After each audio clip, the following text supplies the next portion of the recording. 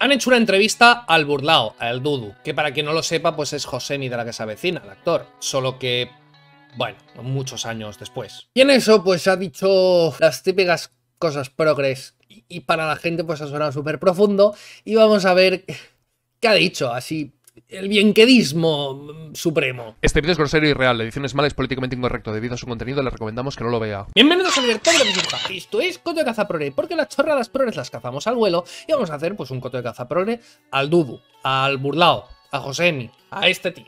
Y es que este clip ha salido en muchísimos sitios y me ha hecho especial gracia esta persona que dice muchas risas con Dudu, cosas, yo que sé, hace trap y demás, pero tiene más valores y más dignidad que la mayoría de cretinos que van de referentes en internet. Ha dicho algo súper profundo, vais a flipar, lo profundo y lo guay que es todo. Por cierto, más valores. La gente tiene unos valores u otros, pero no más o menos, ¿no? O sea, ¿cómo se tienen más? ¿Más valores? Serán mejores valores, pero todo el mundo tiene valores, no sé, ¿cómo se cuentan los valores? vamos a darle. Tú estás ganando bien, pues tendrás que contribuir. Si tú estás ganando bien, tendrás que contribuir, ¿vale? Recordemos que muchos valores y, mucho valor. Vamos a hablar de impuestos y cositas de estas, ¿eh? Y es que es súper sorprendente que alguien opine que quien más tiene, más tiene que contribuir. Y que si ganas dinero tienes que contribuir y, tal. Es una reflexión que jamás nadie había hecho. Es súper innovadora. Es un gran filósofo este hombre. Que oye, que por supuesto, pues no me estoy metiendo con él. Porque en realidad, pues básicamente dice lo mismo que te enseñan en el cole de pequeño. O sea, me parece súper gracioso, sobre todo, pues la reacción que tiene la gente diciendo, ¡Wow! ¡Qué sorprendente! ¡Qué, qué guala! Mira qué cosas más inteligentes ha dicho. No, esto te lo enseñan en cuarto primaria. Esto es básicamente la versión oficial. Escuela pública, escuela estatal. ¿Qué quiere el Estado? Que paguemos muchos impuestos. ¿Qué te enseña el Estado en las escuelas oficiales del Estado? Que son pues la educación pública obligatoria. Pues que hay que contribuir. Entonces la gente pues sale muy antisistema diciendo es que los ricos tienen que pagar mucho dinero cuando es el propio Estado el que te dice que tienes que decir eso. Son fantásticos los antisistemas que tenemos ahora. No, no ha habido jamás en la historia de la humanidad unos antisistemas más por los sistemas que ahora, creo yo. De verdad. Eh, eh, algún historiador que me corrija, pero madre mía. A mí lo que no me vale es lo que hacen muchos tigres, siendo real, que es como de, ah, yo gano bien, pues me desemo y no pago. Coño, cabrón, eso está feo. Vale, quitando que hay palabras bastantes que no entiendo, que, que, yo no comprendo la jerga de este hombre, o sea, porque yo que sé, cada uno está en su entorno. Pero bueno, que a mí me parece muy bien que quien gane dinero o lo que sea, eh, eh, no pague. O sea, si tienes maneras de encontrar no pagar impuestos, me parece perfecto. Es como si tú estás eh, paseando por la calle, te vienen a robar y tú encuentras maneras para evitar que te roben. Me parece perfecto, ya sea salir corriendo, ya sea llamar a la policía, ya sea lo que sea, me parece bien. Y evidentemente, pues los impuestos son un robo porque no hay consentimiento a la hora de entregar ese dinero y lo hacen de la misma forma que el que te viene a atracar. Y es que al final los impuestos son lo mismo que las extorsiones de la mafia. Dicen, oye, te vamos a ofrecer seguridad, pero nos tienes que pagar tanto. No, uy, pues sería una pena que te rompieran las piernas. Pero igual con nuestra seguridad no te las rompen.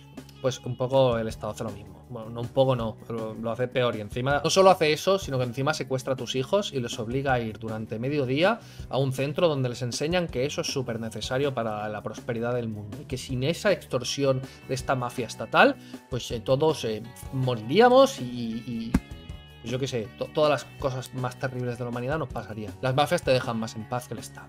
Porque tú pagando, te voy a decir una cosa, tú pagando, haces hospitales, hermano haces carreteras, haces cosas para ayudar a los demás. Y le Ojo, ojo, que tenían que salir las carreteras. Tenían que salir las carreteras. Es el gran argumento. En serio, ¿cómo puede ser que, que, los estatistas estén tan obsesionados con las carreteras? Y es que, en el fondo, también hay que admitirlo, los anarcocapitalistas, liberales y tal, odiamos las carreteras. No queremos que se construyan carreteras, ni hospitales, ni colegios, ni nada, porque no hay manera posible de construir una carretera si no es mediante impuestos. Vamos a ver, el sector privado hace coches, los coches son una, maravilla de la ingeniería brutal, con un montón de piececitas pequeñitas y cosas tecnológicas y mm, circuitos y... Eso, eso lo puede hacer el sector privado. Ahora, aplanar una superficie. No, eso no. aplanar una superficie es demasiado complicado para que el sector privado lo haga. No, no, sabría hacerlo. O sea, aparatos tecnológicos así de la barra, móviles y... Sí, sí, eso sí. Pero aplanar no sabe aplanar. Eh, eh, no, eh, tú, inténtalo. Tú inténtalo. Tú, tú intenta aplanar. Coge plastilina e intenta aplanarla. No te va a salir. Porque no, no eres funcionario. Si fueras funcionario, te saldría muy bien. Sí, si no, no. Yo cuando me hago una pizza, me sale, me sale una cúpula. No, no sé, me sale una cúpula o un cuenco. No me sale plana. Soy un desgraciado. ayudar a los demás. Y le pagas Entonces, el Ferrari al tipo de turno de Ay, no, Maggi, hay que pagar. estás en. España, cabrón. Sí. Esa actitud España, está bro. mal, porque si todos pensaran así, bro, realista, bro, el mundo sería un España, desbarate, tío. bro. Es que si todo el mundo pensase diferente a- al Dudu, el mundo sería un disparate. O sea, ¿cómo, puede ser que pues, no esté todo el mundo obligado a pagar un montón de pasta y que el Estado se lleve la mitad de lo que produce su población y que lo gestione cual mafia? No, o sea, si no estuviésemos todos ordenaditos y por nuestros amos, pues eh, todo sería un disparate. Mejor que nos pongan ahí a formar filas y que nos digan lo que tenemos que hacer con nuestras vidas, porque si no, a saber qué decisiones tomaríamos en libertad. ¿Cómo se te ocurre plantearte siquiera la posibilidad de que la gente pueda ser libre tomar decisiones que no te incluyan a ti? Que yo entiendo que la gente necesita pues cierta seguridad, pero también tendría que abrir un poquito más del horizonte y pensar que no tiene que planearlo todo y que controlarlo todo y tener todo tal. No, simplemente deja a la gente tranquila y que se apañen y que apañándoselas conseguirán muchísimo más que siendo siervos. Y es muy curioso porque veo en la gente que está a favor de los impuestos y está en contra de la separación del Estado y que quiere todo público, usar los mismos argumentos que usaban los que defendían la esclavitud. Es que claro, si liberamos a los esclavos, no podrán valerse por sí mismos. Y claro, no tendrán pues un techo, no tendrán comida, no tendrán tal, porque que se lo damos todo, ¿no? Sin nosotros no, no, no, no conseguirían nada. Es, es lo mismo, sois lo mismo. El mundo sería un desbarate, bro. Bro, hay que pagar, bro. Yo- Claro. Eso es real. El chalet, pagar. el chalet en la playa, les pagamos. No, claro, no, el bro. No, eso que se le ocurre a él, bro. Pero No, se lo pagas tú, eh, me refiero a Hacienda, todas estas cosas. Lo que es para el pueblo, hermano. Lo que es para el pueblo. Si yo Para el pueblo. Para el pueblo, para pueblo migajas. Porque quien parte y reparte se lleva la mejor parte. Muchísima parte de los impuestos pues va para sus cosas, para sus subvenciones, sus corruptelas, sus chiringuitos y tal.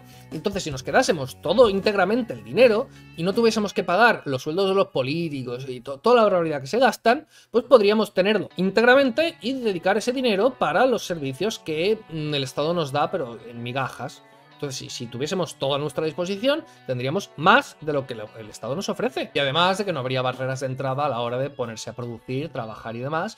Y no habría este paro sistemático que tenemos en España, que esto ya es un cachondeo. Y por lo tanto, pues al haber muchísimo más empleo, las empresas tendrían que competir para conseguir trabajadores, por lo tanto los sueldos tendrían que subir muchísimo. Y además, pues se invertiría muchísimo más y de forma más eficiente, porque no tendríamos la torpeza esa, por lo tanto se prosperaría más. Imagínate, no te quitarían la mitad del salario en impuestos. Las empresas te tendrían que subir el salario para competir unas con otras, porque no habría este paro sistemático que crea el Estado. Y además los salarios subirían y la productividad subiría porque los recursos estarían eh, invertidos de forma eficiente. O sea, tres formas en los que los salarios subirían si se empezase ya a optar por el capitalismo en vez de por el estatismo. Anda que no tendríamos para gastar, porque la gente suele pensar, oye, yo cobro 1500, así que con 1500 pues no puedo pagarme los hospitales, la educación y todo eso, por lo tanto necesito el Estado. No, es que tú no cobras 1500, tú a lo mejor cobras cerca de 3000 pavos. Y cobras cerca de 3000 pavos porque las empresas tienen un montón de trabajadores dispuestos a trabajar por ese precio. Si no los tuvieran, tendrían que subir más. Y cobras 3.000 pavos porque pues, no se puede invertir en España porque hay un montón de políticos y de regulaciones que impiden in- invertir y que aumenten los salarios. ¿En serio? Por Dios.